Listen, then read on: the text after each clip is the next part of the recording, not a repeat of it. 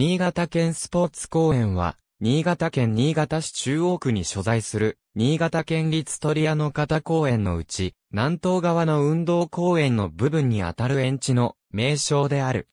施設は、新潟県が所有し、アルビレックスに新潟、都市緑花センターグループが、指定管理者として、運営管理を行っている。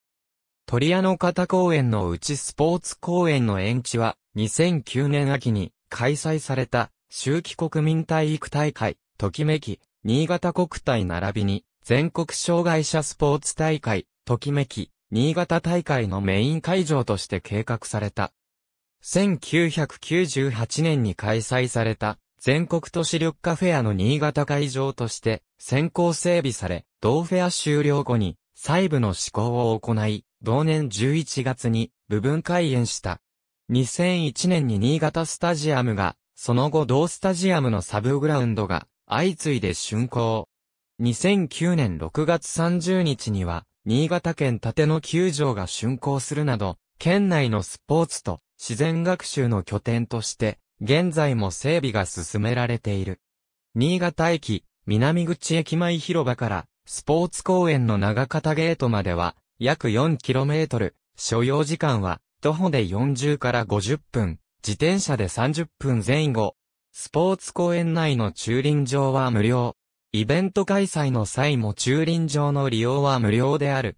開催当日は、周辺道路やバス車内が大変混雑することもあり、自転車や自動二輪車、あるいは徒歩による来場者が多い。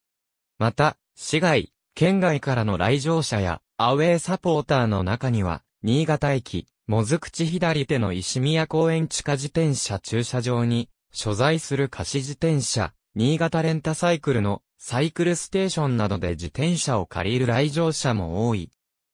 現在、新潟駅周辺のサイクルステーションは、この万代口側一箇所のみだが、新潟市、国土交通省、民間企業数社と NPO 法人からなる、新潟駅南まちづくり協議会は2010年10月16日から11月20日にかけ、新潟駅南地区において、新潟駅南レンタサイクルと銘打って貸し自転車の社会実験を実施し、期間中は、新潟駅南口やビッグスワン、新潟市民病院など、全5カ所にサイクルステーションを開設した。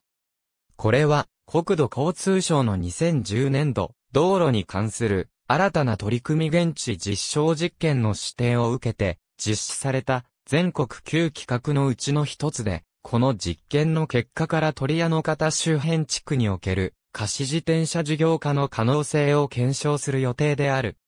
この社会実験の期間中には、J リーグ公式戦が3試合開催され、開催日には各、サイクルステーションの営業時間を延長するなどの措置が取られた。